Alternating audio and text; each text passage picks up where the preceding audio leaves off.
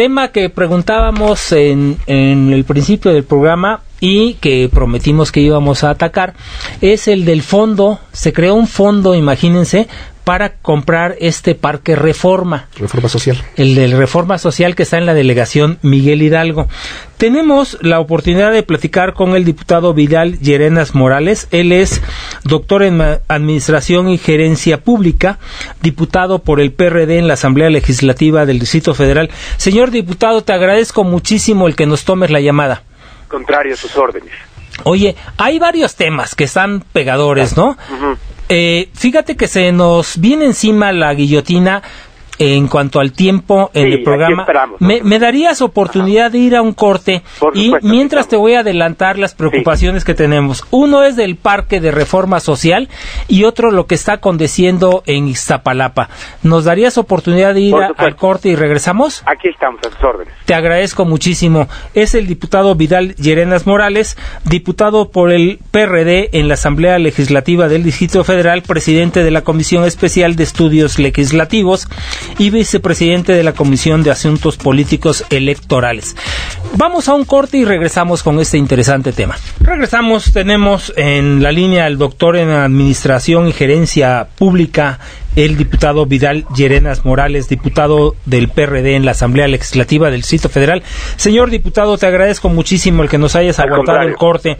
Oye, los temas que sin lugar a dudas eh, pues se sienten fuerte aquí en la Ciudad de México, como es el del Parque Reforma Social, donde en la Asamblea Legislativa se crea un fideicomiso para poder comprar este eh, espacio que era un parque y regresárselo a los ciudadanos. ¿Puedes contarnos un poco cómo van las cosas? Oye, preguntándote, ¿cómo se constituye este fondo? Eh, tengo entendido que es un, fideicomiso, ¿cuánto dinero va a tener? ¿Cuál es la intención y cómo lo van a manejar? Se ha constituido ya un fideicomiso, hasta donde entiendo, con recursos tanto federales, etiquetados en la, en la Cámara Federal, como de la Asamblea Legislativa. Entiendo que todavía no tiene, eh, digamos, la cantidad eh, necesaria para comprarlo, pero ya hay una cantidad importante y ya están en negociaciones con los dueños del parque, ¿no?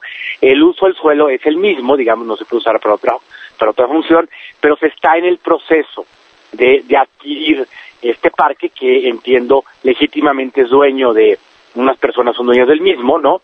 Eh, lo han acreditado así y entonces el fideicomiso se está haciendo para poder comprar este parque. Diputado, entonces ya una vez establecido este fideicomiso, probablemente se pueda dislucidar o manejar la, la controversia que había entre los probables dueños y eh, obviamente los habitantes de la colonia. Sí, de hecho el fideicomiso está, eh, tiene ya fondos, eh, no es claro que los fondos sean suficientes para, para comprarlo, para adquirirlo, pero ya están en negociaciones y yo creo que mm, el año que entra quedará ya adquirido los que son los dueños, porque además entiendo que a nivel judicial han probado la propiedad del mismo, bueno, serán compensados con una cantidad económica equivalente al valor y entonces el parque seguirá siendo un parque de uso público.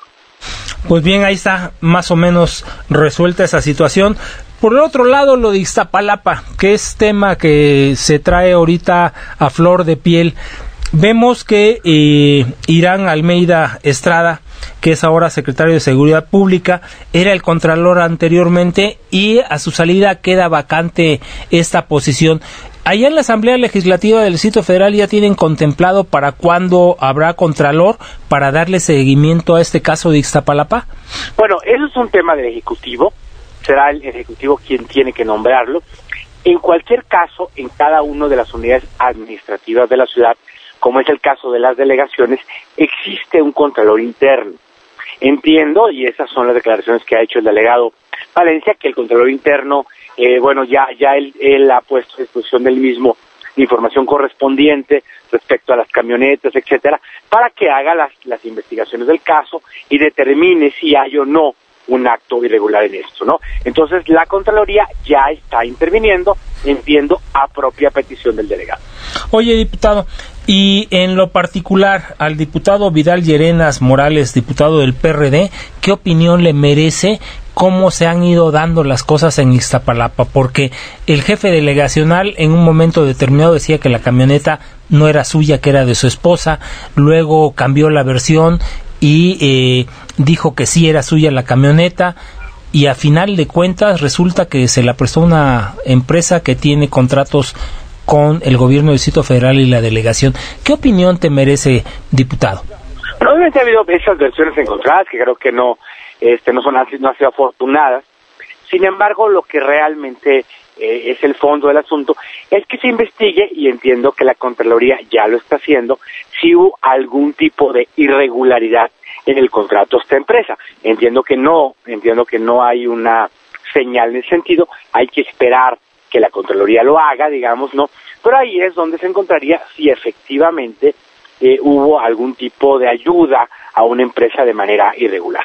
Que se le haya prestado la camioneta no es lo adecuado, eh, coincido, digamos, no, eh, no haga uno cosas que parezcan malas, ¿no?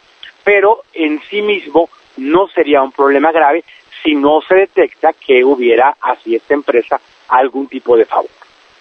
Y en eso la Contraloría está actuando pues eh, el que se le dé seguimiento profundo a fondo, diría uno, para que se esclarezcan los hechos. Si no hay nada que esconder, bueno, pues que se re, eh, se reinstaure la imagen del jefe delegacional, ¿no? Y si no, que se le aplique todo el rigor de la ley. Yo, y finalmente, bueno, ya ha subido el costo de, digamos, los errores que cometió y que él mismo acepta, digamos, ¿no? Haber manejado un auto cuando no estaba en condiciones de hacerlo, por el tema de la medicina, etcétera, y creo que también haber manejado un auto de una empresa este contratista que creo que no es adecuado, pero pero pero eh, si eso no es acompañado de, de, una irregularidad en la asignación de un contrato, etcétera, bueno, eso no es un delito. Diputado, buenas tardes. Saluda Juan Carlos Zárraga. No es el único caso de una camioneta. Ahorita sabemos el caso de la camioneta Mexire, pero también se sabe ya que el delegado trae otra camioneta de otra empresa que es Protexer.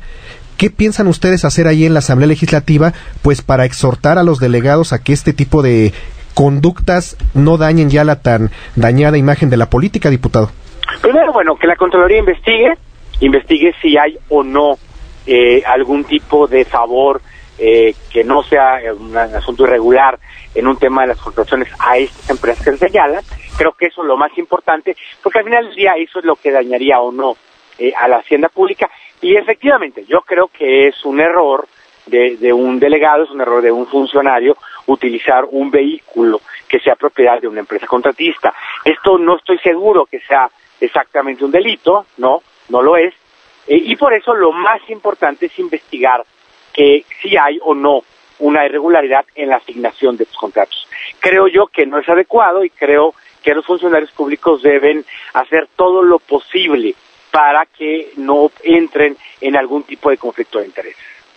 Bueno, pues ahí está y que indiscutiblemente todas estas cosas nos pegan a los ciudadanos, una en la parte pues que nos duele, ¿no? La parte moral, ver que, que los funcionarios públicos, los políticos, no nos están cumpliendo. Y por el otro lado, ¿qué nos puedes comentar con respecto al salario mínimo del Distrito Federal, que ya hubo oportunidad de que sí va a subir y no se va a quedar en el 4.3%, 4.5% que autorizaron eh, a nivel federal?